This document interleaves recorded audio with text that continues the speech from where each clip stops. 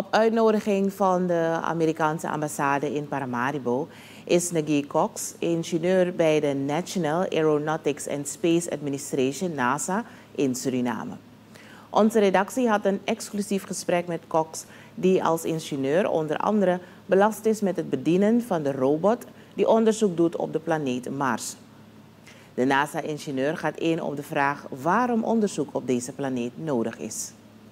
So part of what happens when we visit other places is we actually learn about ourselves. Mm -hmm. And one of the things that we've learned from Mars is like I said it used to have water. Mm -hmm. It doesn't anymore.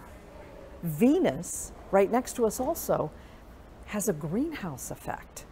And the biggest issue that this planet is facing is climate change. True.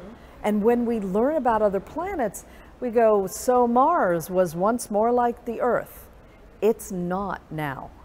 That is an existential lesson for all of us that planets don't stay the same.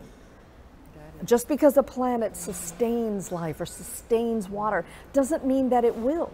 So it reinforces how important it is that we take care of this planet. Yeah. So, so much of what we learn about the rest of the solar system is really learning about ourselves and highlighting that this is a big deal and Suriname is a huge part of that, right? The, the, um, the forest, the Amazon, it's a critical part of our ecosystem. Suriname speelt volgens Cox dan ook een belangrijke rol in de toekomst van planeet Aarde. Naast presentaties op scholen en opleidingen zal Cox ook een hands-on STEAM moment hebben in het dorp Redidoti in Para. STEAM staat voor Science, Technology, Engineering, Art en Mathematics. Cox vraagt aan ouders om geloof te hebben in de droom van hun kinderen en die droom te ondersteunen waar nodig.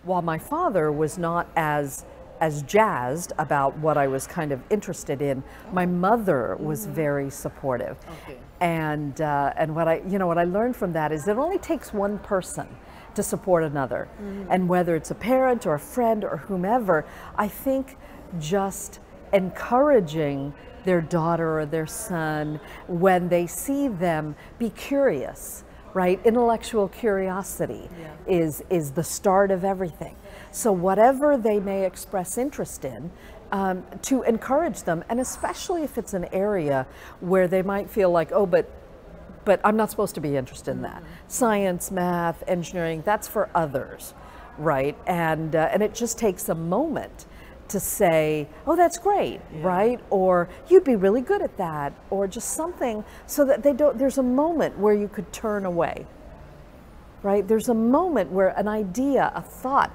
a possible future might occur to you. And that moment, if, if there's encouragement to consider it, as opposed to, oh, well, girls don't do that.